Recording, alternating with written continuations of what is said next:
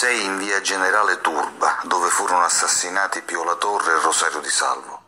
Pio La Torre era il segretario regionale del Partito Comunista Italiano. Era impegnato sul fronte della lotta alla mafia e contro l'installazione dei missili cruise a Comiso. È la mattina del 30 aprile 1982. Pio La Torre e il suo uomo di fiducia, Rosario Di Salvo, si stanno recando alla sede del PC, poco distante da qui.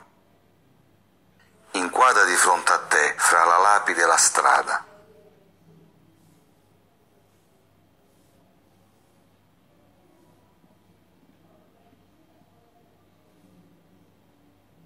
Sono le 9.20 del mattino.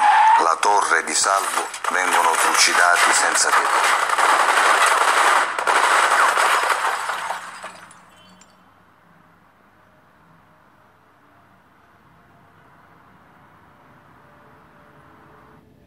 Ancora due mafia in Sicilia. Questa mattina a Palermo sono stati assassinati in un agguato tipicamente mafioso l'onorevole Pio La Torre, 54 anni, sposato con due figli, segretario regionale del Partito Comunista, ed il suo autista, Rosario Di Salvo. I malviventi sono entrati in azione poco dopo le 9, non lontano dalla sede del Comitato regionale comunista. Una moto di grossa cilindrata taglia la strada alla vettura su cui viaggia l'esponente comunista. La manovra costringe l'autista a frenare bruscamente. Solo pochi atti e gli assassini, da una ritmo oscura, sparano contro Pio La Torre e Rosario Di Salvo. Il segretario regionale comunista si accascia, ormai senza vita, sulle gambe del suo autista, che nonostante sia ormai ferito tenta di reagire e fa fuoco con la sua pistola contro gli aggressori, ma viene presto sopraffatto. Incredulità e sgomento le prime reazioni. Esponenti di tutti i partiti raggiungono il luogo dell'eccidio per rendere omaggio alle due vittime. Sono in molti a chiedersi perché Pio La Torre.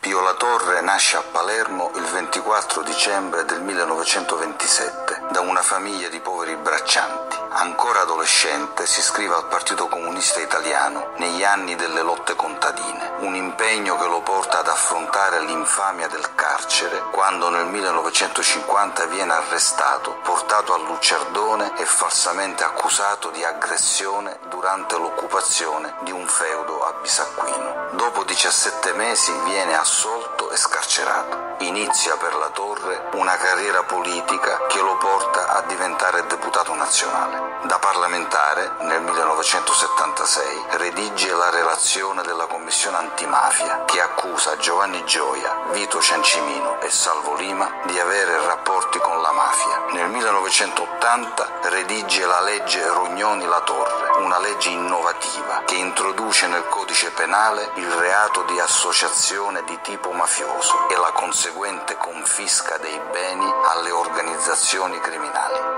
Tale legge, tuttavia, sarà approvata soltanto dopo la sua morte e quella del generale Carlo Alberto Dalla Chiesa nel settembre 1982. Stretto collaboratore di Enrico Berlinguer, La Torre diventa segretario del Partito Comunista in Sicilia nel 1981.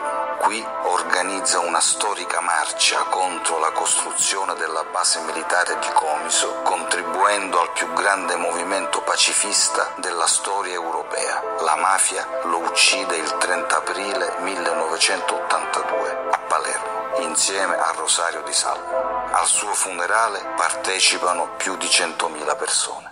Torre dedica tutta la sua vita al riscatto della sua terra, del suo popolo e nell'affermazione dei principi della democrazia e dei diritti costituzionali. È stato assassinato da un gruppo di killer della criminalità organizzata di stampo mafioso. I giudici hanno accertato che i mandanti di quel gruppo di fuoco fosse la cupola di Cosa Nostra, ma allo stesso tempo ritengono che non ci siano state le condizioni per approfondire alcuni aspetti emersi di una complessità che andava ben oltre la legge che porta il suo nome, la Rognoni-La Torre, che introduce il reato di associazione mafiosa nel codice penale, il famoso 416 bis. E accanto a questo, un elemento che ha contribuito alla decisione di ucciderlo, scenari più ampi. Mio padre era ritenuto una spia di Mosca. Dall'inizio degli anni 60 circa fu osservato dai servizi segreti italiani. Un secondo scenario, l'impegno pacifista contro l'installazione dei missili nucleari a Comiso. I ricordi di quei giorni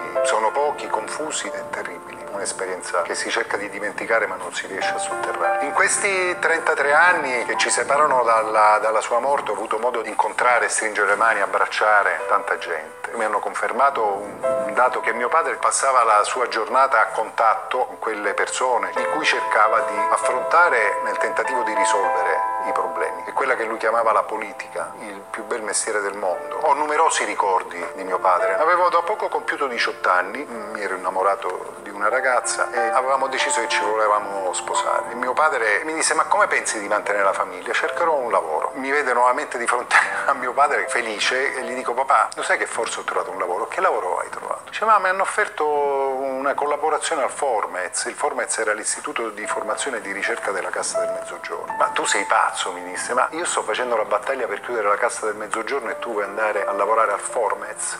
Si chiuse lì la vicenda. Mi piace ricordare di mio padre un altro piccolo episodio.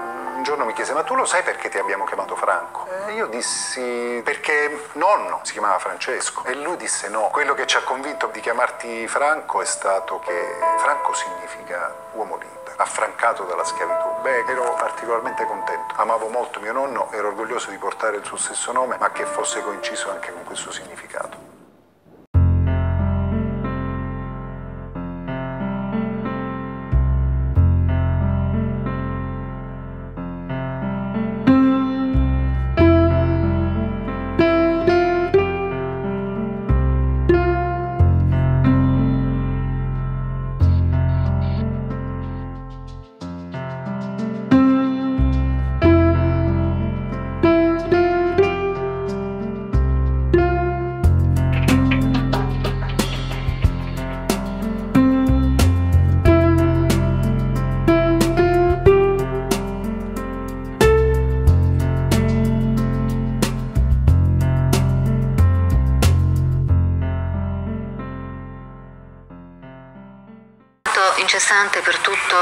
Channel 300. e pellegrinaggio di esponenti politici di tutti i partiti alla Camera Ardente allestita nella sede del Comitato regionale comunista nella quale sono stati composti i corpi senza vita dell'onorevole Pio Latorre e del suo autista Rosario Di Salvo.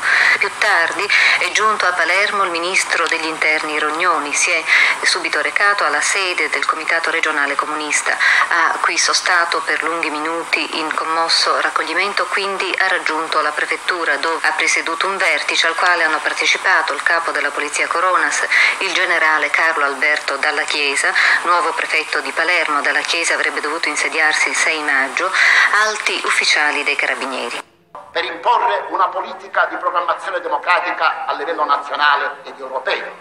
Terzo, per liberare la Sicilia dal sistema di potere mafioso. Quarto, per il movimento democratico della regione decentramento dei poteri e la piena attuazione dello Statuto siciliano. Affermiamo cioè che la battaglia per la pace è contro i missili, per un piano regionale di sviluppo economico e sociale. L'emigrazione tumultuosa degli anni 50 e 60 ha svuotato la società siciliana delle energie migliori, fisiche e intellettuali. Si è sabotato l'attuazione dello Statuto e il passaggio dei poteri del, dallo Stato alla Regione è avvenuto col contatto gli obiettivi dello sviluppo economico, civile e democratico della nostra isola.